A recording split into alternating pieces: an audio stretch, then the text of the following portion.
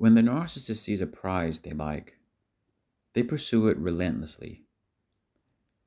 In pursuing something you want, which can be a person, in itself, of course, that's not a bad thing. In a when you want something, it's important to put your best foot forward and to come across as your best self, otherwise, you might fail. And when the narcissist has their eyes set on their prize, they can go to certain extremes to try to secure their success, which maybe your average person wouldn't do. Like if they were interested in someone because they thought a certain individual might be the perfect supply for them, might be the perfect person to stroke their ego, help them get their needs met.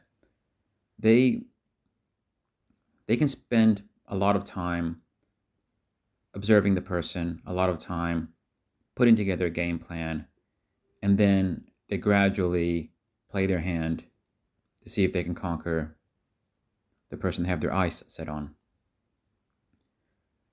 And again, that in itself isn't unusual because if you're looking for a boyfriend, a girlfriend, someone to have a relationship with, someone to marry, or if you just want something short term, then you usually have to put your best foot forward and you have to come across as a version of yourself that would appeal to the other person. But what narcissists do differently is that they go the extra level to come across as being a certain person which isn't the real them. They they work really hard to mold themselves into a version well, it's not even a version of them, into a manufactured version of them that is a very compatible match to the object of their desire. And what that means is if they if they relentlessly pursue someone knowing that compatibility isn't really something they've considered as part of the pursuit. They're not pursuing someone who's compatible.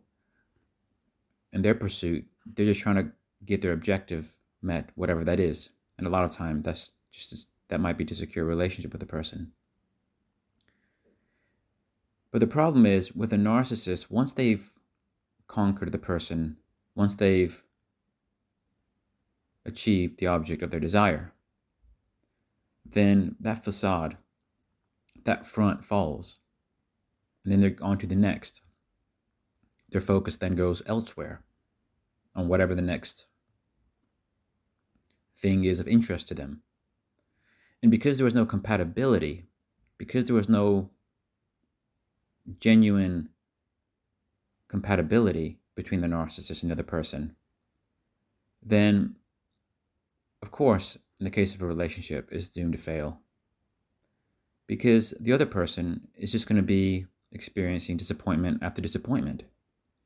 And because narcissists sometimes, even though their main objective, which was to have conquered the person, has been met, after that's happened, narcissists then like to get their supply needs met by having the person around because the person does a lot for them. And then because the other person and at the outset did feel a compatibility because the fake persona that, that the narcissist put forth was a compatible persona, it just wasn't the real them. So the other person can't let go of that too quickly. So then they feel that they're on the hook.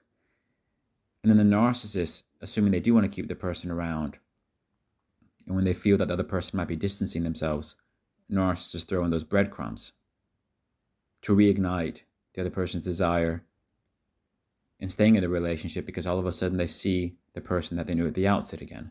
So it sets them back it weakens them to the point where they think, actually, I do like this person. I do want to stay in. Maybe I've been exaggerating, you know, the person's behaviors. Maybe all the the toxic ways of the narcissist, all the strange behaviors, the other person might disregard and think, oh, they were seeing things. They're making up. They're imagining things.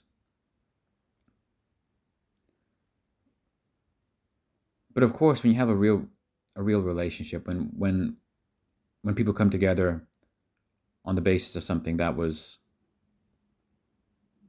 not overly manufactured, then there, even if one or both people stop trying so hard to win the person over, once they have won the person over, because there's compatibility there, then usually things can work out and the relationship can evolve and the people can get along well. You know, they can work together to have a successful future together. But when there is no compatibility, which is what you have with narcissists, and that's the big thing that narcissists do that's different from other relationships, is that they have no intent, they have no consideration of coming together with somebody where they actually do believe there's compatibility. They fake it to, to such an extreme that there's nothing in common there later. There's no basis on which a relationship can thrive with a narcissist. Not to mention their toxic ways. So they're basically, they end up with somebody over time who A is not compatible with them and B who they abuse. Of course, the person on the receiving end isn't going to be happy. And that's and that's the danger of rushing things, and that's the danger of not vetting the person, not really getting to know who you're involved with, because if there's no compatibility, then why do you even want to take the person seriously? But of course, narcissists, they play a different game. They play a game of dominance and control. And when you play a game of dominance and control, the best they can achieve is to play a, a good game at the outset, conquer the person that they want to be their primary supply, and then after that, string the person along through bread, breadcrumbs. And then they can either move on to the next person or just sit relaxing in the pride that they have of having conquered the person and just doing whatever it is they, they do.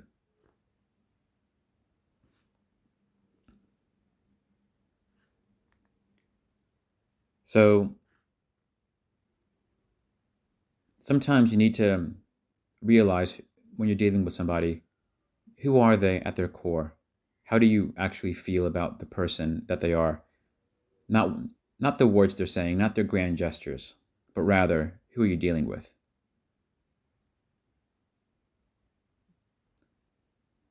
And is this person just saying and do things to try to impress you?